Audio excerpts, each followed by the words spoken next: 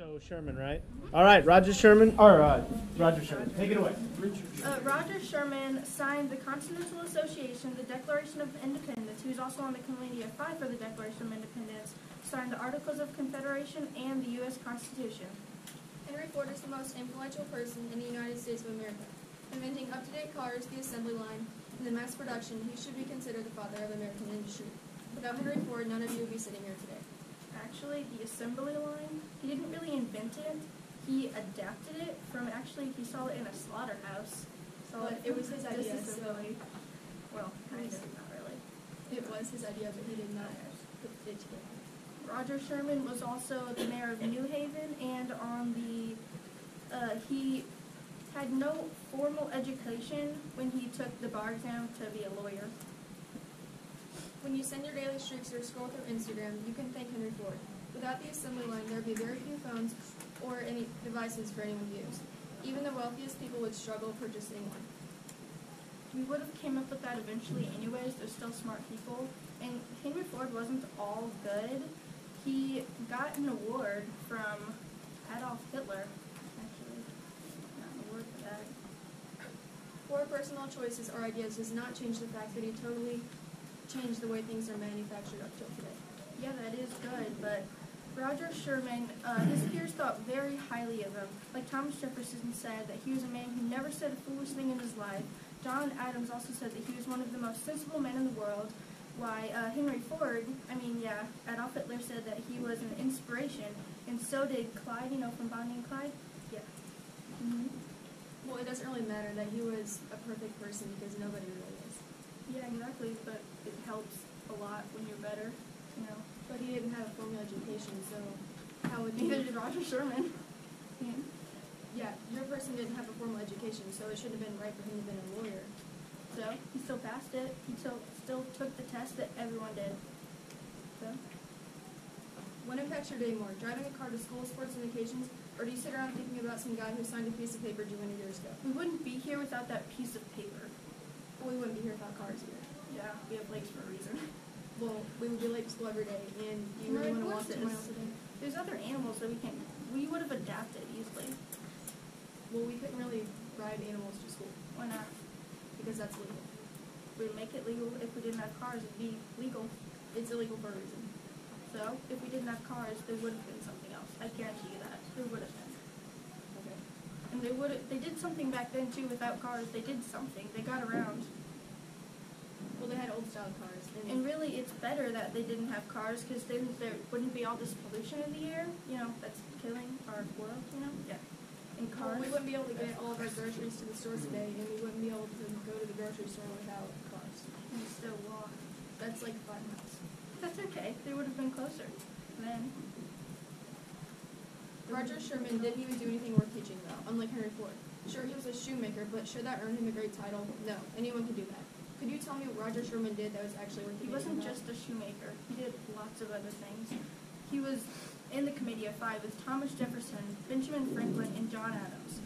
He's just more of the forgotten one because he was more of a Christian than all them. So, why was he forgotten if he did something for him? Because he, back then they didn't like that he liked his religion more than everyone else, but really he was just kind of getting ready for the future because now we can say what our religion is freely. So he was kind of living in the future. Closing statements? You're in. No. Henry Ford had to fight for the ability to even make cars. He was in a very long and expensive court battle just to be able to make them. He did this so that the average person would be able to afford an independent car. Mhm. He did make the first like uh, affordable car, but he didn't make the first car. And the first car that he did make, it was so cheaply made that they just had to go to the shop over and over. So eventually, it made it where it was as expensive as the other cars, anyways. So really, Well, according to? History.com, it was dependable. It wasn't cheap. well, according to uh, biography.com, it was not mm-mm, like at all, and I had to just keep going. So it would have been better just to get a better car to keep for longer than one of those cheap ones that you just keep sending back to the shop. So what's the point? Well, it was dependable, so obviously it wasn't cheap. Well, not really. But also, um, Roger Sherman was in the Continental Congress, and he was a in the United States senator until his death. But a lot of people are senators. That doesn't really. Back then, they weren't. Well, there wasn't a there's, lot of people here, so he was one of kind of a special one. Not only did Henry Ford increase the availability for so many items, but according to biography.com, he also increased the pay wages that his workers received. Him paying his workers more forced other companies to increase their employees' pay, which has had a ripple effect on spreading to all companies paying their workers more. More pay means more items to everyone available. Mhm, He pretty much uh, bribed his workers by paying them them more. more. Yeah, That's not a bribe. kind of. And then he did not trust experts. That's why he had to keep sending them back. He, here, according to Factinate, Ford had a notorious dislike for experts. He once wrote, "If I ever wanted to, to kill opposition by unfair means, I would endow the opposition with experts." This meant that Ford Motor Company didn't employ anyone with advanced engineering or design engineering skills.